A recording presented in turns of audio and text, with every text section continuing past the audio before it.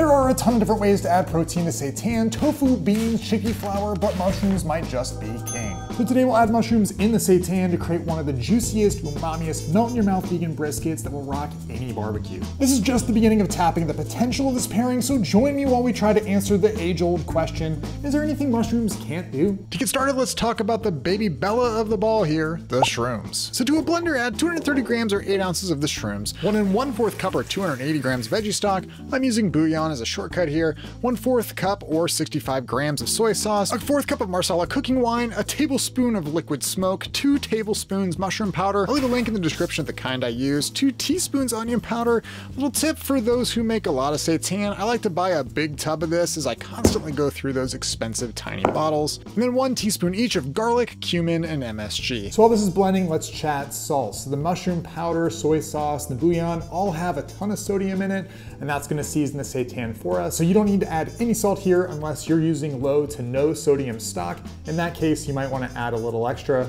Oop, looks like we're done over here. After about 30 seconds, you'll have a beautiful brown umami bomb mushroom smoothie. Now this is a no chunk zone. There should be nothing chunking it up in here. Grab yourself a mixing bowl with 330 grams or two and three fourths cup of Vital Wheat gluten and pour in your pitcher of liquid flavor right on top.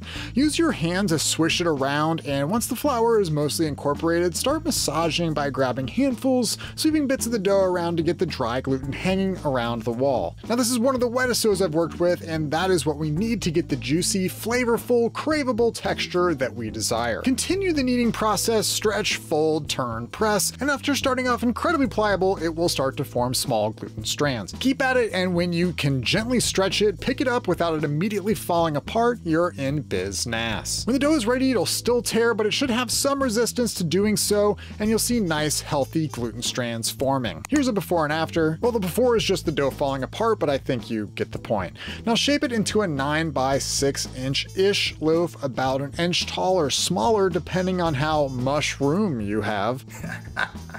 Since we're imitating a brisket, I'm gonna shape mine a little smaller at one end, like a guitar pick. Now let that hang out while we generously grease the bottom of a high-walled pan, which we'll use later to simmer the same roast. At this point, you can let the dough rest for up to 24 hours before moving on to the next step.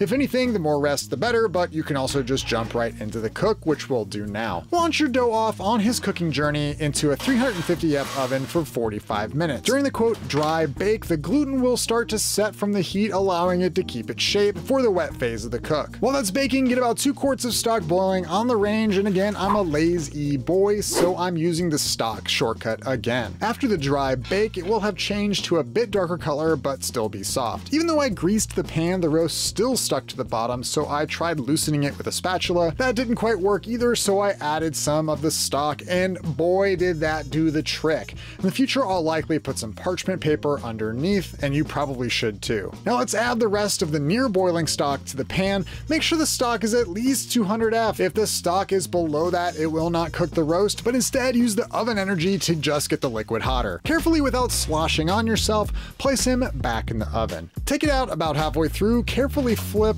It's still uncooked, so you could rip him in half if you go too hard in the paint. You'll have some water loss from steam, so boil extra water in a pot and add that if needed. The roast should always be floating on a sea of almost boiling flavor. Pop them back in the oven and continue on the same heat for a final hour. After the wet bake, your roast should be around 180F in the thickest part. If it isn't, you can finish with a 30 minute simmer on the stove. Now we're gonna broil this, and I wasn't confident about the pot's ability to withstand the heat from the broil, so I transferred it to a baking sheet.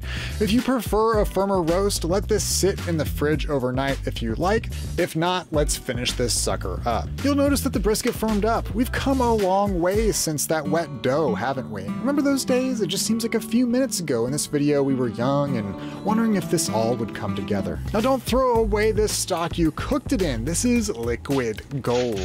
Remember those mushrooms and seasonings we used? Those are all now flavoring this liquid. Strain, save, and use as a juice? Nope, JUS, not that. It can even go as a good replacement for the stock in my vegan beef stew video, which I'll link to in the description. Now baste with the healthy amount of barbecue sauce, and broil for 10 minutes. Take it out, baste again so we get two layers of flavor. We're gonna do this until it has a deep dark red-brown sheen. I don't own a grill or a smoker, but this would be even better on those probably. Please someone try that out and let me know.